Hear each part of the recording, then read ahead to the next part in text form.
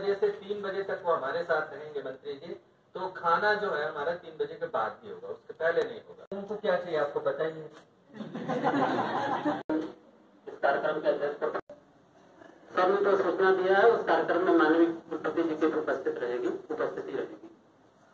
मंच पर आसीन इस सभागार में इस कार्यक्रम के सह संयोजक डॉक्टर विजय रंजन जी वरिष्ठ नीलकंठ तिवारी ने अच्छा सॉरी अपने पास जा रहे हैं कोमल लक्ष्मण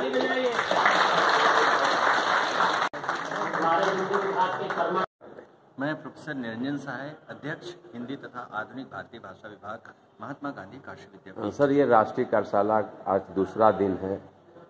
किन मुद्दों पे चर्चा विशेषकर देखा जाए तो हो रहा है? आज के मुख्य अतिथि वक्ता कौन है? कल हम लोगों ने जो चर्चा की थी दक्षिण भारत की जो भाषाएँ हैं, विशेषकर तमिल, तेलुगु, मलयालम, कन्नड़, उनका हिंदी से क्या रिश्ता है? इस पर एक पूर्व पीठिका तैयार की गई थी, लेकिन कार्यशाला की जो सबसे खास बात यह होती है कि हम अपने विद्यार्थियों को कितना दीक्षित कर पाते हैं। यानी अपने विद्यार्थियों को जो ज्ञान का अगाध सागर है उससे कौन से मोती चुनकर लाते हैं जिससे उनकी सोच समझ की दशा बदलती है या उनके चिंतन की दशा बदलती है, जिससे निश्चित रूप से आने वाला अकादमिक संसार प्रभावित होता है, साहित्य की दिशा और दशा प्रभावित होती है। तो आज के कार्यक्रम की सबसे खास यह बात होगी कि एनसीईआरटी के डॉक्टर नीलकंठ कुमार जी हैं।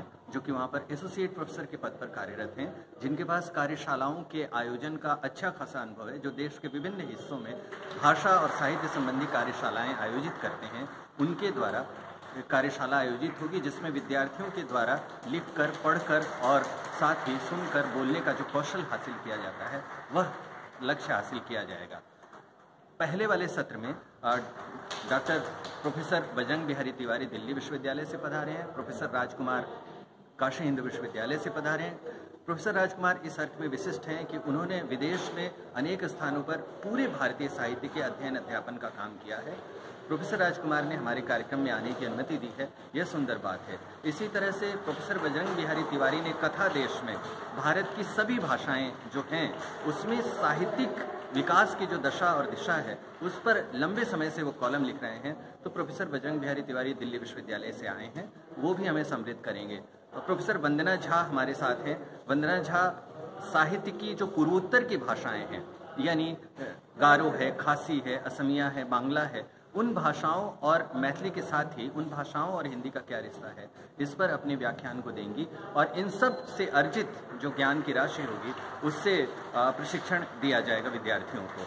आज के कार्यक्रम की सबसे सुंदर बात यह है कि माननीय मंत्री गंगवार जी भी यहाँ पधार रहे हैं। गंगवार जी का जो संदेश है, वह हमें मिलने जा रहा है। काशी तमिल संगमम के अवसर पर भारतीय भाषाओं का जो सह अस्तित्वपूर्ण विकास की दशा और दिशा है, उसमें माननीय मंत्री जी गन्ना और चीनी के जो मंत्री जी हैं, राज्य मंत्री जी हैं, माननीय गंगवार जी वो आएँगे हमारे बीच, माननीय संजय सिंह गंगवार जी और माननीय कुलपति जी भी, यानी प्रोफेसर आनंद कुमार त्यागी सर भी हमारे साथ रहेंगे। यह कार्यक्रम के दूसरे हिस्से में संपन्न होगा। निश्चित रूप से हमारे विश्वविद्यालय को, अकादमिक संसार को इससे फ़ायदा मिलेगा।